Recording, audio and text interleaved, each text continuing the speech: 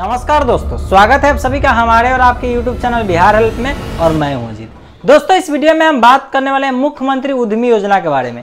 जैसा कि दोस्तों, आपको पता होगा कि बिहार सरकार जो है, हर आदमी को जो है उद्योग लगाने के लिए 10 लाख रुपए तक का लोन देने जा रही है। तो इसी के बारे में हम पूर्ण डिटेल में बात करने वाले हैं कि हर कास्ट के लिए दोस्तों अलग अलग जो है इजिबिलिटी क्राइटेरिया रखा गया है और अलग अलग दस्तावेज़ लगने वाला है। यानी कि दोस्तों, महिला के लिए कुछ और है और एस के लिए कुछ और है ईबीसी के लिए कुछ और है। तो यानी कि हम सबके बारे में जो है अलग अलग स्टेप में बताने वाले हैं कि कौन से कास्ट को क्या लगने वाला है, क्या एजिबिलिटी क्राइटेरिया होना चाहिए, कितना एजुकेशन होना चाहिए क्या क्या दस्तावेज़ लगेगा, यानी कि पूर्ण डिटेल में हम बात करने वाले हैं। क्योंकि दोस्तों, इसका जो है बहुत लंबा प्रोसेस होने वाला है। अगर आप लोन लेना चाहते हैं, उद्योग लगाना चाहते हैं तो प्लीज़ आप इस वीडियो को लास्ट तक ज़रूर देखिएगा। तो चलिए दोस्तों, वीडियो को स्टार्ट करते हैं। स्टार्ट करने से पहले आप हमारे चैनल पर अगर पहली बार आए हैं तो इस तरह के वीडियो आगे भी देखने के लिए आप हमारे चैनल को लाल बटन दबा के सब्सक्राइब कर लीजिए और साथ में बेल आइकन को दबा के ऑल पे प्रेस कर लीजिए, ताकि जब भी मेरा वीडियो आए तो सबसे पहले आपको नोटिफिकेशन मिल सके।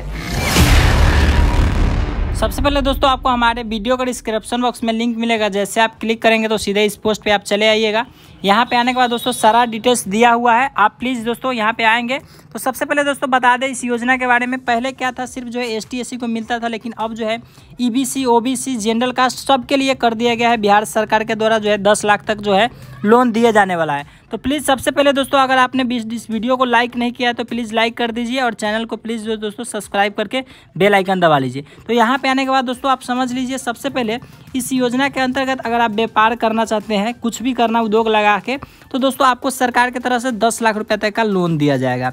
और इस योजना के अंतर्गत दोस्तों हम यहाँ पे नीचे स्क्रॉल करते हैं, और भी बातें हम बता देते हैं, क्योंकि दोस्तों ये वीडियो हम ज़्यादा लंबा नहीं होने देंगे, थोड़ा सिंपल वे में समझाएँगे, क्योंकि दोस्तों वीडियो कोई लंबा देखना नहीं चाहता है। सबसे पहले इसमें, इस योजना के अंतर्गत दोस्तों दो किस्तों में आपका भुगतान होगा, और परिवार के किसी एक व्यक्ति ही अप्लाई कर सकते हैं। तो सबसे पहले यहाँ पे हम बात कर लेते हैं मुख्यमंत्री उद्यमी योजना।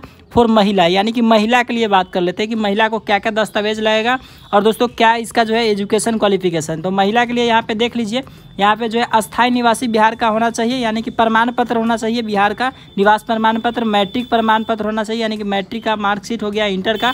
दोस्तों, यहाँ पे आके जो है आपको सबका डिटेल पढ़ना पड़ेगा, क्योंकि हम वीडियो में एक के बारे में बताए तो पता चला इतना लंबा हो जाएगा कि फिर कोई देख ही नहीं पाएगा। तो इसलिए यहाँ पे आपको देखना पड़ेगा इजिबिलिटी क्या है क्वालिफिकेशन क्या है? जैसे कि यहाँ पे दोस्तों आपको कम से कम इंटरमीडिएट या आईटीआई या पॉलिटेक्निक डिप्लोमा कोई भी दोस्तों आप उत्तीर्ण किए हुए पढ़े लिखे लोग तो देखते को मिलेगा और 18 से 50 वर्ष के बीच में एज होना चाहिए और दोस्तों आपका कंपनी रजिस्टर्ड होना चाहिए। यानी कि दोस्तों अगर आपका कंपनी अभी तक रजिस्टर्ड नहीं है, कोई भी कास्ट से आते हैं तो आपको जो है उद्योग आधार पर जाकर रजिस्ट्रेशन करना पड़ेगा। अगर आपको दोस्तों पता नहीं है तो नीचे कॉमेंट कीजिए, हम उसके ऊपर भी वीडियो बनाएँगे कि उद्योग आधार में कैसे रजिस्ट्रेशन किया जाता है। ये जो है सब लोगों को लगने वाला है। प्लीज़ आप वीडियो में लास्ट तक बन रही है, हम आपको सारी बातें समझाते हैं। यहाँ पे समझ लीजिए, आपका कंपनी रजिस्टर जो है उद्योग आधार पे हो जाता है, पैसा वैसा कुछ नहीं लगेगा।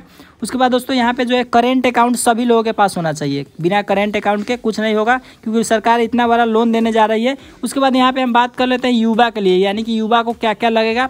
तो युवा को भी दोस्तों, इसी तरीके से युवा के बारे में बताया गया, जो कि अठारह से पचास वर्ष के बीच में कोई भी युवा है तो वो जो है, कोई उद्योग उद्योग लगाएँगे। तो यही सब डॉक्यूमेंट वगैरह दिया हुआ है। इसके बारे में भी आके आपको दोस्तों, यहाँ पे पढ़ना पड़ेगा। क्वालिफिकेशन एजुकेशन क्या है? यहाँ पे सबका सेम है, लगभग थोड़ा थोड़ा डिफरेंट है। तो यहाँ पे दोस्तों, युवा के लिए यहाँ पे पैन कार्ड होना चाहिए। सब कुछ यहाँ पे दिया हुआ है। अब एस टी के बारे में बात कर ले तो एस टी का भी वही है कि निवास प्रमाण पत्र होना चाहिए इंटरमीडिएट का certificate Aadhaar card, PAN card, सब यहाँ पे लिखा हुआ है। उसके बाद दोस्तों फ़ोटो करेंट अकाउंट भी होना चाहिए। सबको करेंट अकाउंट लगेगा ही। उसके बाद यहाँ पे दोस्तों एस टी के लिए भी वही है। और एस टी को थोड़ा मोड़ा छूट मिलेगा, लेकिन अभी जो है सरकार सबके लिए ये निकाली है। और ईबीसी के लिए दोस्तों ईबीसी को पहले नहीं मिलता था। और जो ईबीसी है, उसी, उस सेम दोस्तों प्रोसेस ओबीसी और जनरल कास्ट वाला का भी होगा। तो इसलिए दोस्तों यहाँ पे वो, अगर आप जनरल कास्ट से है या ओबीसी से है तो प्लीज़ आप आके यहाँ पे देखें।